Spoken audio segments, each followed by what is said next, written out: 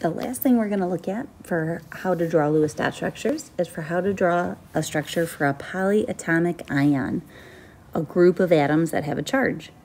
So when drawing structures for ions, you'll either have extra electrons in your picture if it's an anion, or we'll take some electrons away if you have a cation.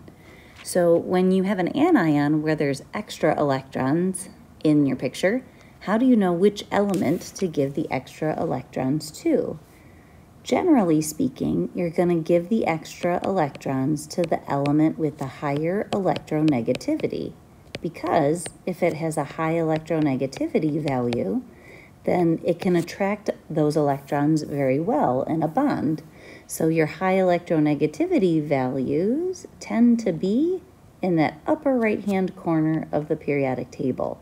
So the closer you get to fluorine, the better it does at attracting those electrons. If you have a cation, that means you're taking an electron away from your picture. So how do you know which element you're going to take the electron away from? Generally speaking, we're going to take the electron away from the elements that have low ionization energies elements where you don't have to work very hard to take the electron away because it's the easiest to remove.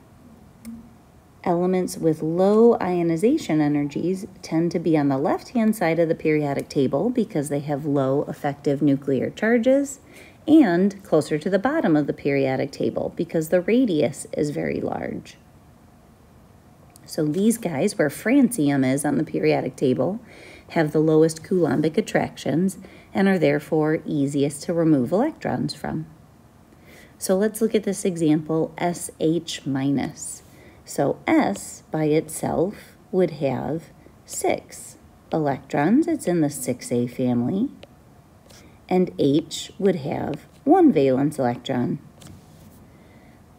the SH minus, the minus means that we've got an extra electron somewhere in our picture. So we have to decide, do we give the extra electron to the H or to the S? Because S has a higher electronegativity, can attract electrons better than hydrogen can, I'm going to give that extra electron to my sulfur. I put it, uh, the extra electron in a different color just so you can see that our S that would normally have six now has seven.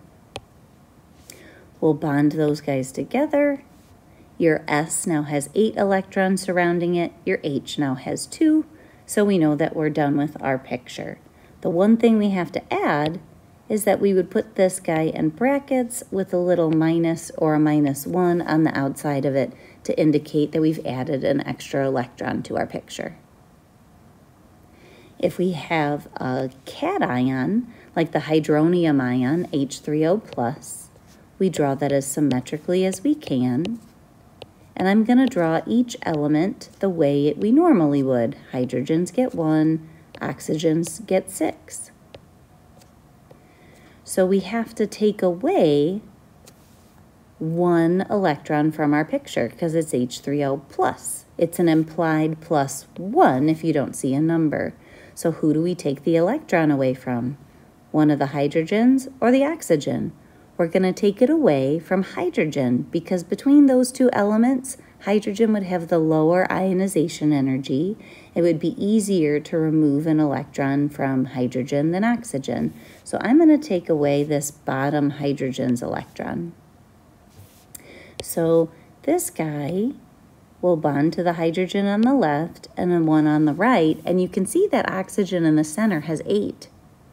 It's already a complete octet rule as it is, but we somehow have to get that hydrogen on the bottom to attach despite the fact that it has absolutely nothing to contribute.